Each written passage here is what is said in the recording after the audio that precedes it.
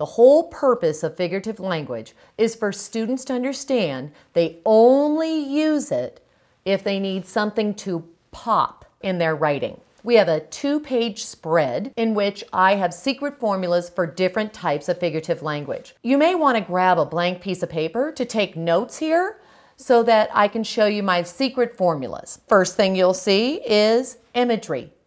With imagery, you want to first have that image. You're going to draw whatever it is that you want to create that imagery. You want the student to actually see the image in their mind using the five senses. So in this case, maybe I'm having the students on your example there want to draw the picture of a pie. We want to have the reader see that pie, smell that pie. We want to use imagery for that image in their mind. And what do we use? Adjectives, nouns, and verbs. In this case, we were looking at the pie. What image do we want? We want that sweet smell of the pie. So we always start with the noun. What is it that we're describing?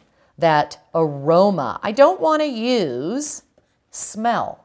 When you hear the word smell, that word actually gives you this idea of something that's negative, that's an awful smell. So I'm going to use the word aroma. That's important that you tell your children that when you're doing imagery. The nouns you're choosing are critical. What feeling, what emotion are you getting across to someone when you say smell versus aroma? Smell, ooh, it's awful. Aroma, mmm, aroma, that's something that smells good. So we chose aroma. After that, we're going to ask what kind of aroma when we choose our adjective. Ooh, the sweet aroma. So now we're having an adjective. What kind of aroma would be coming from the pie? A sweet aroma. And then we go to our verb. What action would that sweet aroma be doing? Oh, it floated through the air. We are showing students not only how to create a vivid sensory image for the reader, but we're also showing them how to choose precise words that match that feeling we want the reader to have. And we have the sweet aroma floated across the room. Next, we will look at similes. A simile is two unlike things, but they have one characteristic in common. In our example, we were writing about a boy and how tall he was. So this is about a boy. And what characteristic do we want to pop in the reader's mind? How tall he is. So then we ask, what else in the world is really tall? And that's when we came out with skyscraper.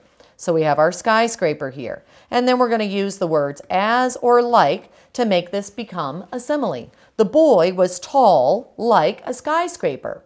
The boy was as tall as a skyscraper.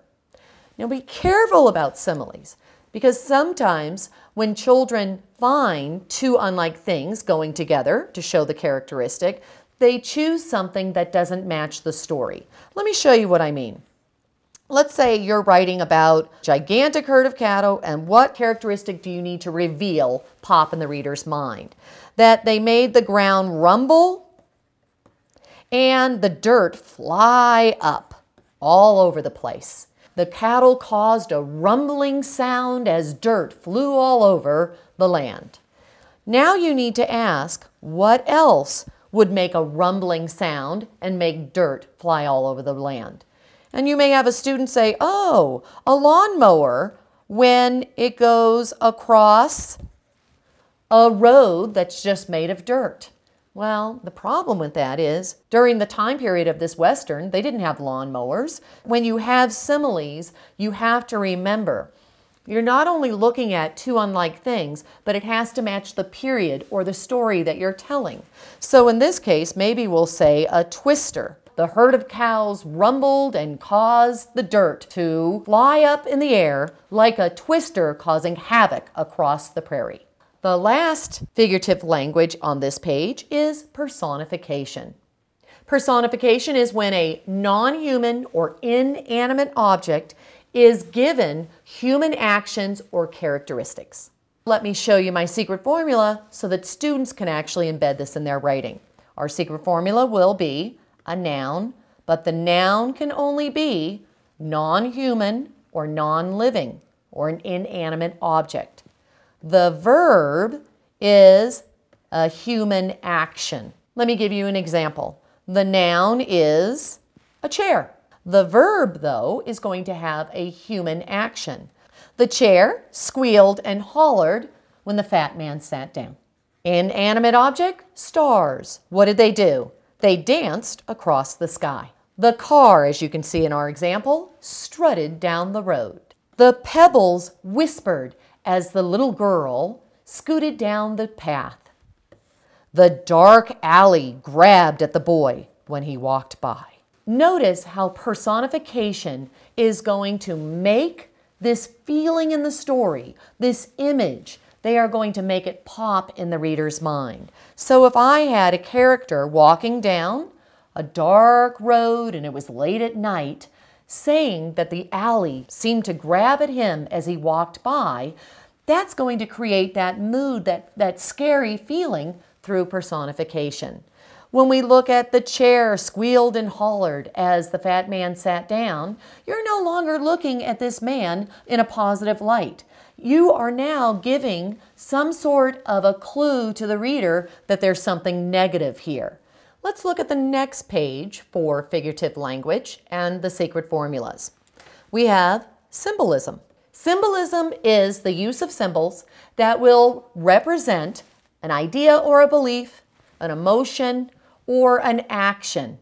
These symbols are common in our society. Let's look at the example that I have on this page, a peace sign. If I, as the writer, gave this as a clue, this symbol, that a character walked in the room, and as I was describing the character, I made sure that the reader knew they had on a peace necklace, it evokes certain characteristics about that person. Are they anti war? Will I see them in a demonstration? It's a clue that you, the reader, can give someone. Notice also you have the symbol of a heart, which reveals love, and insert them in your writing to give the reader clues about characters, about an idea, an emotion, an action to make your story even more deeper and developed. After symbolism, we have hyperbole.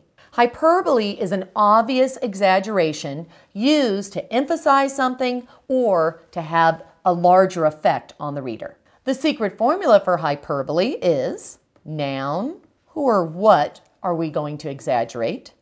Then we will go to the five senses. I have my noun, five senses, and then I'm ready to exaggerate. An example, my mom is the noun. What five sense am I using? What does she sound like? She yelled so loudly, now let's exaggerate. The roof shook. My mother yelling, that effect of her yelling, is going to be revealed to the reader through this use of hyperbole. In my example on the page, notice who or what was I going to exaggerate? The dog. What five sense? His smell. And then I'm going to exaggerate by saying he made the wallpaper peel. So I have the dog smelled so putrid, the wallpaper peeled. Next is an idiom. An idiom is an expression that doesn't make sense if you take it literally. Here's an example. If I say the big cheese, what you may picture is this person that looks like a big piece of cheese. But we know the big cheese means the boss. These expressions add interest to your writing. Over here we had, you hit the nail on the head, meaning you're correct. So instead of the reader saying, you're correct, maybe they'll say, you hit the nail on the head. These expressions add more interest to the writing. One thing to take note of, if you read older books, sometimes you won't understand the idiom because it's been lost. We don't use it in our society anymore. Also, if you're not from the particular culture from which the book is written, you may not understand the idiom either. So idioms need to be used from the time period that you're in and for the audience that you're writing to. The last figurative language I have represented on these charts is a metaphor. Now, a metaphor is a comparison, but it's when you're using words like is, are, and of when you make that comparison of two unlike things and you're comparing a characteristic that they have in common. The simile and the metaphor really end up having very similar purposes, but they're a little different because of how you word them. In our case here, we have he is, so we're using the word is, a walking dictionary. And from there, you know, wow, he's really smart. But it adds more interest to say he's a walking dictionary. Or the car, so I'm talking about a car, is a lemon. So now you know, uh-oh, don't buy that car. It's not going to work. It's going to break down. But the car is a lemon adds more interest and quality to your writing than the car will break down. We also have represented here the word of. She is in a sea of trouble. So we're using the sea, how it's so vast and endless, meaning her trouble is vast and endless. She is in a sea of trouble. When we're using our metaphors, again, it's to make these ideas, these images, these feelings and emotions pop in the reader's mind. I've gone over seven different types of figurative language that your students can utilize in their stories. These formulas that I've shown you are concrete so that your children no longer are hearing use figurative language and they don't know even what it is or how to put it in their writing. With these formulas, what you can do is after you plan a Come Alive box, as you plan stories, you go back and ask, what needs to pop in your story? Let's add figurative language there. Let's use one of our secret formulas. I also suggest that you look at these secret formulas for reading. When you're reading and you notice the author used a simile, imagery, personification, any type of figurative language, you want to say to the students, oh, look, they're making this pop in our mind. This is important when we're reading it. That way, you're not just using it for writing, you're using it for reading as well because they both truly are reciprocal. I hope you find these figurative language secret formulas useful for your children to write stories as well as to become better readers.